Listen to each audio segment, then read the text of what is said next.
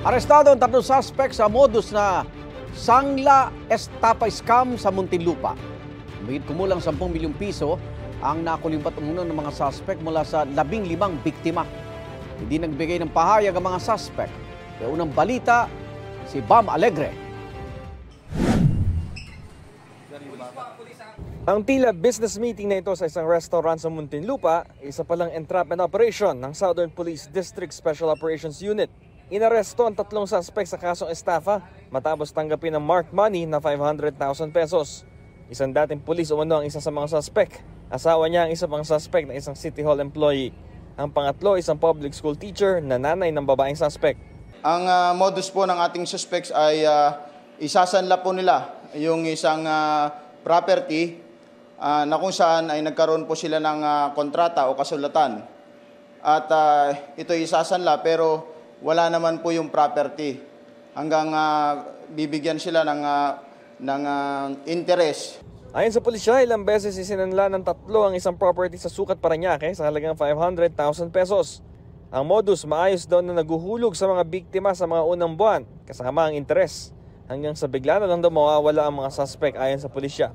Humigit kumulang 10 milyong piso raw ang nakulimbat ng mga suspect mula sa 15 biktima. Kompleto sa mga dokumento at sa mga cheque, masinsin yung mga detalye at talagang lehitimo tignan. Ito yung ginamit ng mga suspect na pangkumbinse sa mga biktima, kaya naengganyo sila.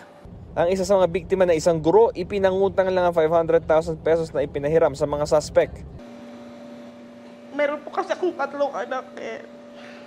Nakiusap ako sa kanila na ibalik yung pera. Kasi nga, mga maliliit pa yung anak ko, wala na akong sinasahod.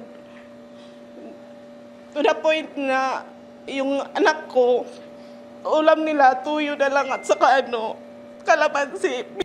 Guro rin ng isang biktima noong 2021 na nangutang lang din para may mapahiram sa mga suspect na dati na raw nilang kakilala. Hanggang ngayon wala pa rin daw siyang sinisweldo, mabayaran lang ang loan na itinakbo ng mga suspect. Malaki po yung tiwala ko sa kanya kasi kilalang kilala ko po siya. Estudyante ko po siya. Then, ang nanay po niya ay kasamahan po namin sa simbahan. Ah, super dami, ma, nasa 1M. Opo. Kaya ngayon po, wala na po akong sinasahod. Ang biktima nakatransaksyon ng mga suspects sa entrapment operation, hinihinga nila ng 2.5 million pesos. Hindi na raw kasi nila mababayaran ng sanla, kaya inalok sa biktima na bilhin na lang ang property. Ah, isinasanla po sa isang tao. And then, pagkalipas lang po ng buwan o araw, isasanla na naman po sa ibang tao. Nang hindi na po nauub na nababayaran yung mga unang pinagsanlaan. Hindi nagbigay ng pahayag ang mga suspect. No comment po. No comment. No comment po. Nahaharap sila sa kasong estafa. Ito ang unang balita, Bam Alegre para sa GMA Integrated News. Igan, mauna ka sa mga balita. Mag-subscribe sa GMA Integrated News sa YouTube.